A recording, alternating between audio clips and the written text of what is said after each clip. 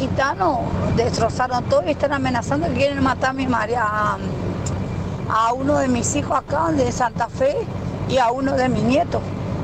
Estaban diciendo que vienen 15 camionetas para a tirar tiro, que mostraron la pistola, todo, todo el tema. Tengo que ir a denunciar todo lo que hicieron en esquina y bueno, todo lo que hicieron van a tener que ir presos porque no puedo yo agarrar una máquina y romper tu y tú a, a tu casa. ¿Con qué motivo? Encima que el daño me hicieron a mí. ¿Cuántos años de casada? Todo el sufrimiento que me costó para tener eso. ¿Entendés? No se puede ir nomás y no atropellar así. Así que creo que se atenga también la consecuencia. Una lástima porque mi casa era recién hecha, mira, te juro, me dejaron hasta cinco colchones, me dejaron la cocina, todo, hicieron un desastre, mi aire, regalaron todo. Son una plaga esa gente, te digo la verdad, una plaga. Ay, por favor, que... Y y por tiene razón Penélope. Penélope perdió por todos lados.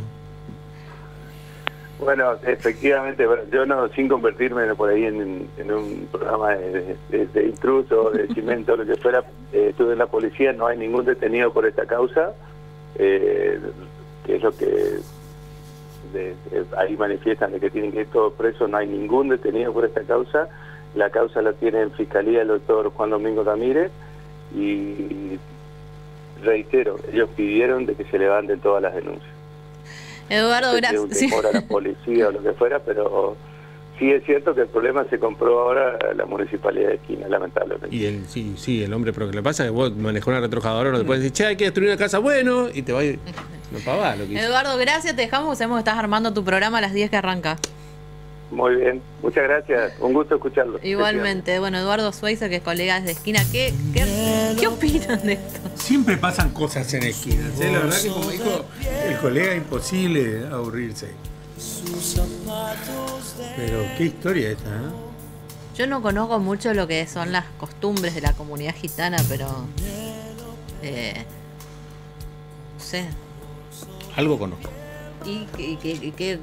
No, primero y principal que es una comunidad muy cerrada, Sí. muy cerrada como lo decía Eduardo, no tiene una comunicación muy fluida eh, y la comunicación la da el hombre y Pero no el hombre así- se fue. y no así la mujer. Pero esto de que se vaya, que se, se enamoraron escondida, no hay gente grande ya que puede decidir hacer su vida. Sí, por supuesto, lo pueden hacer. ¿Y por qué los hijos le fueron a derribar la casa porque le robaron a la madre? Y sí, le robaron la madre.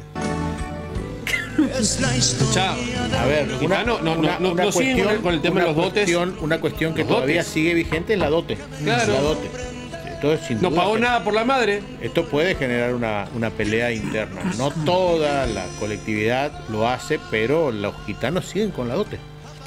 La dote significa que vos compres, aunque quede fuerte, chocante, Compre eh, el amor. compres el amor, exacto. Eh, y no es lo mismo cuando es más joven a cuando es más grande. Si la mujer ya tiene hijos, así no tiene hijos. Entonces, Pero, pero acá no era ninguno. Acá el señor se fue con la vecina. Gitano, ¿no? Eso se llama igual en todos lados, ¿o no? sí, pero Pero no, ¿por qué los hijos no, van a pero- destruirle la casa a La, la... la, la, la mamá tiene un valor. no pagaron. Claro, no Pero pagaron para, por la no, mamá. pregunto sin saber, eh, ¿se, eh, ¿en la comunidad gitana o no? Ni, Y, y depende, ni, depende. claro, ni.